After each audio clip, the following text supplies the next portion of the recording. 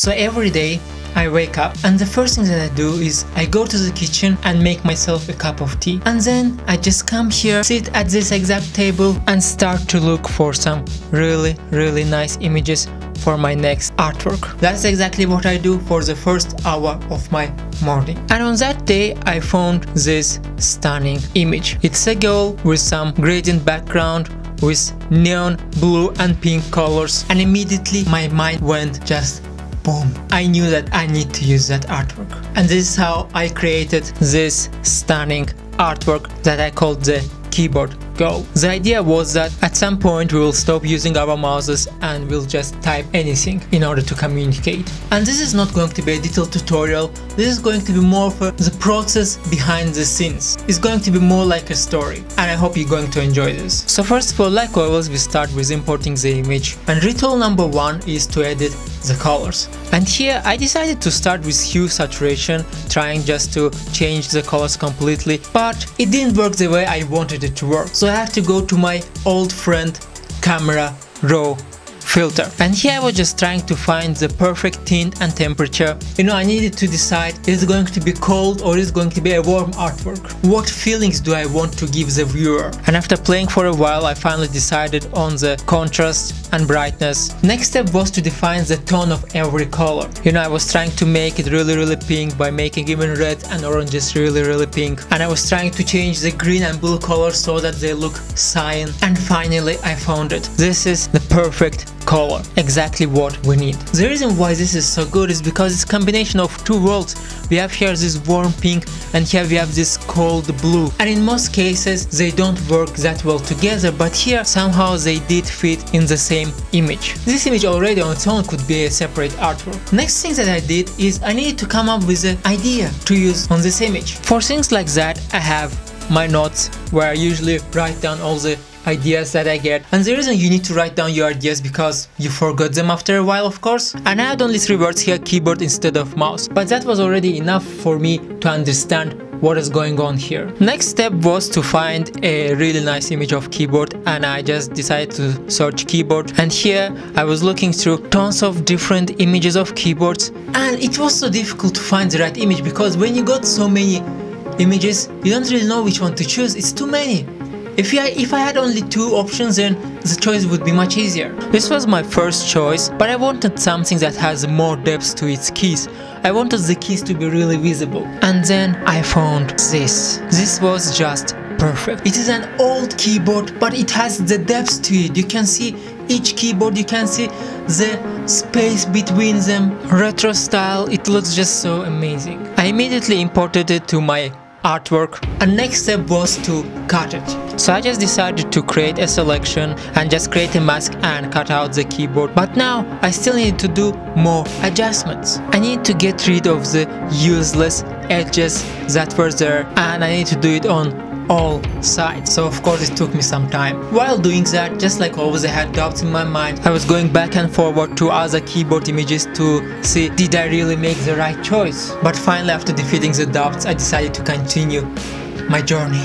Now it was time to make the keyboard look more realistic for that I just used warp option and uh, my goal was to warp it around her face. And this actually did take some time since in order to make it realistic it's actually very difficult. And had lots of unlucky tries. But after spending almost 30 minutes on it I saw that this is finally it. Next goal was to adjust the color of this keyboard to the color of the background image and for that I just decided to use Photoshop's auto match option and it actually did work pretty well as you can see uh, it looks pretty realistic and the colors are also almost the same but of course we still need to do a lot in order to make it look really realistic. One of the really big things that I was missing was shadow and I just decided to draw the shadow manually by using black brush and just drawing it under the keyboard. Every time you draw shadow manually it's very difficult to make it look really good because sometimes you have to go erase and start over. And if you look here we already have shadow here. But still I wanted to give more depth to it. And for that I actually had to add even more shadows here.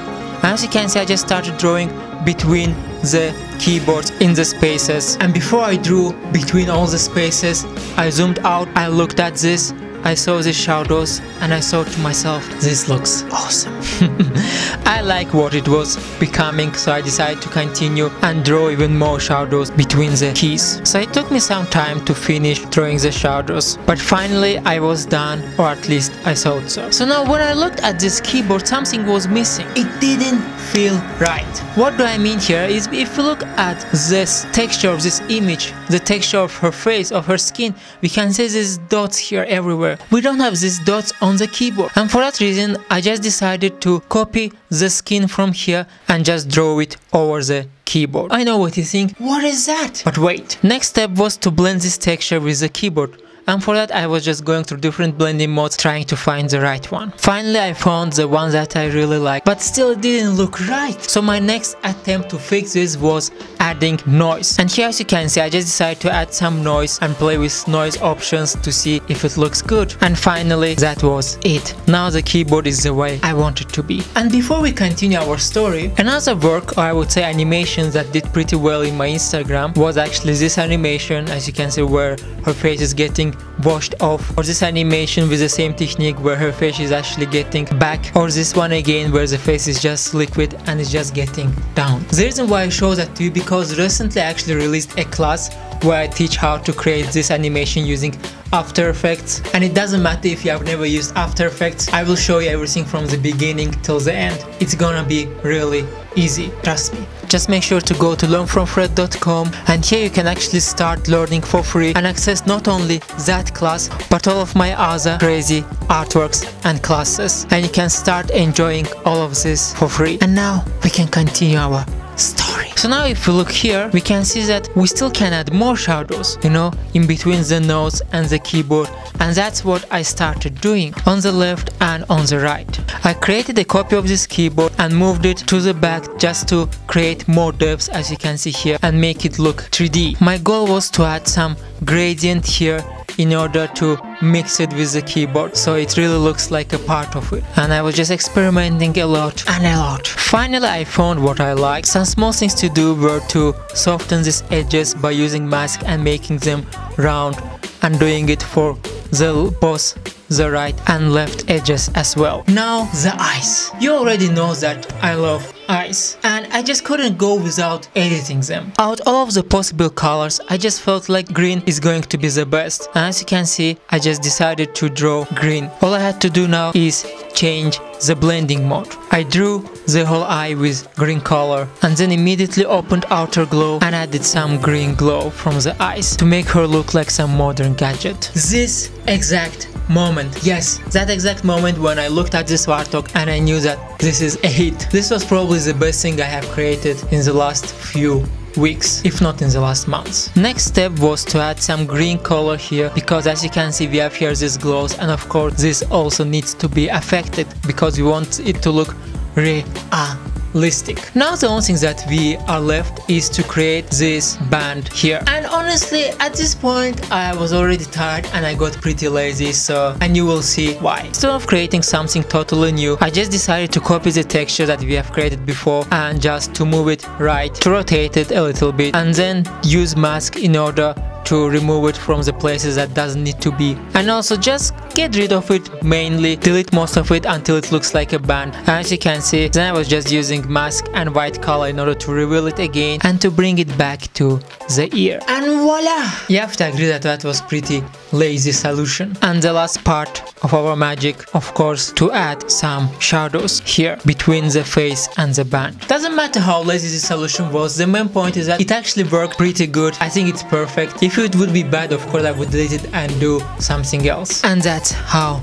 this was born. Guys, I really hope you loved the process. That was it for today. Make sure to like and tell in comments what do you think about this artwork and what in general do you think about this format of video. With that said, I will go back to Narnia. Yeah, back there. Bye bye.